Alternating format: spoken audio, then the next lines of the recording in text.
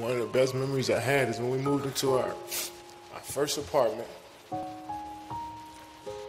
No, no bed, no furniture, and we just all sat in, in the living room and just hugged each other. Cause we, that's what we, we thought we made it. And when, you, when something good happens to you, I don't know about you guys, but I tend to look back to what brought me here.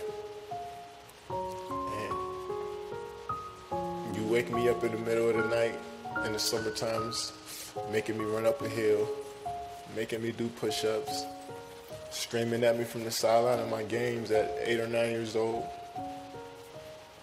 We wasn't supposed to be here. You made us believe.